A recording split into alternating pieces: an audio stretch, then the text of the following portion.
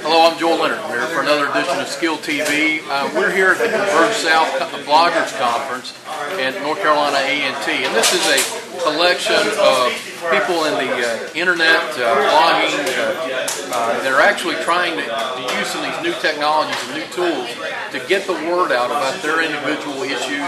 And these are kind of like citizen journalists, broadcasters. We happen to have one of the most famous uh, uh, resources in the sector who created some pathways and uh, broke down some barriers for corporate communication and blogging. And Robert Scoble, who was our moderator, our discussion leader today on how to use video editing. So we're, we're here today. He's going to uh, share with me some of his ideas and perspectives and what he sees with some of the people from the in, in Silicon Valley and throughout the world that are really innovators in using some of these technologies to advance communication, advance social networks, and advance uh, our whole communication stuff. So we'll start in a few minutes.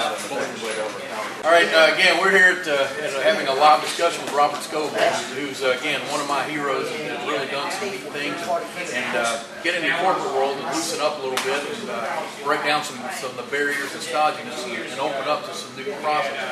Now, you don't know who I am. I, I kind of you a little bit about Skill TV. What we're trying to do, Robert, is we're trying to preserve our future workforce. we have so many kids that are moving into some of these technologies and some of these jobs and some of the things they see on TV, but they don't really get into doing a lot of the skilled trades. And a lot of the technology now got into some of those jobs, PLCs and automation and some of the technology. So we've got to reach out and get some of that world that you really communicate on a day-to-day basis and get them into our world, which is electronics, mechanics, and all those things to get that going.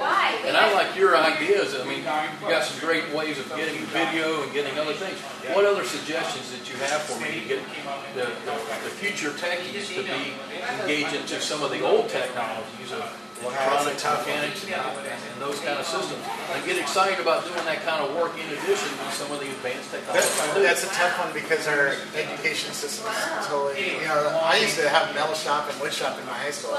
Yeah. Those don't happen anymore in our, in our schools, certainly not so. So as we've abandoned those technologies, we're literally at risk. Yeah.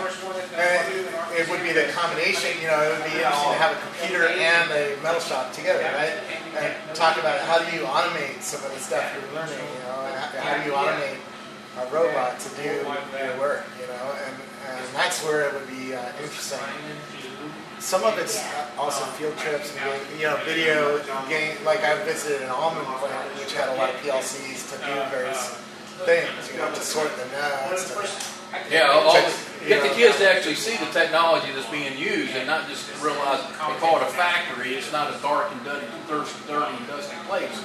It's actually a, uh, a very interesting place with a lot of technology. So you're encouraging field trips, interaction, uh, involvement, participation. Yeah, but it's hard to go to a field trip uh, to an almond factory in the middle of California well, post 911 and also rental slips and all the other things. And yeah, that's why I love this new TV show, How It's Made, some of these upper channel uh, uh, things on the cable networks, the Discovery Channel, and these other programs. And again, I uh, uh, delighted to see you on the, on Big Idea and, and, and, some of these other programs. If we can get more of our kids to start thinking about those things and those kind of content, that's why I hope to get on Big Idea someday and get more, uh, uh, open that dialogue and that discussion and say, hey, you know, Joe the plumber, yeah, this guy has a real opportunity of making 250000 a year. Yeah. And uh, so we, we've got to get our kids to realize that those opportunities are there, or our whole infrastructure is going to paralyze, and we won't be able to do these great things on have the network just be established, right? No, and you're going to lose more of those jobs over to China or wherever. Well, in a lot of these jobs, we can't ship overseas because you can't order Chinese guy to come over here and fix your uh, your your plumbing system or your electrical system or your electronic system. We have to do that in the house. So we, we've got to upgrade that and engage some of that technology. So again, I thank you for your time. Thanks. Thanks, I think it comes down to the education system. I, you know, I, I'm sensing there's a revolution happening in education. You know, it might be because of the, new cell phones that are coming out that are always connected, fairly low cost. And the cost will come down over the next 10 years, which will bring a lot more people in. and it's cool to have a cell phone, right? It's not cool to carry a book. Yeah, yeah. And uh, also, the book is very cold and very old. Cell phone, you know, if you're learning plumbing, you can have videos, you can have I actually, yeah, after she. chats with people, you can have interactivity, which keeps the newer kids much more engaged in uh, learning than a book that's 30 years old that somebody's not even alive anymore. Yeah, it's hard to call these old these cell phones now cell phones. I mean, they've got so much more capacity to them than what they used to have And NPS and getting and being able to, to again to start creating their own, doing videos, their own TV shows. So I would probably start hooking up to some of the more innovative teachers who are trying to use you know, videos in the classroom. Because yeah, you can have a, a guy who runs an almond factory go and take a little video and explain how he uses a PLC on the factory. You know, you know. That's literally that's the whole You can't get a class from Detroit out to a, Yeah, a that, factory. that's why we- we've got skill TVs to be that gateway. So thank you again. Thanks.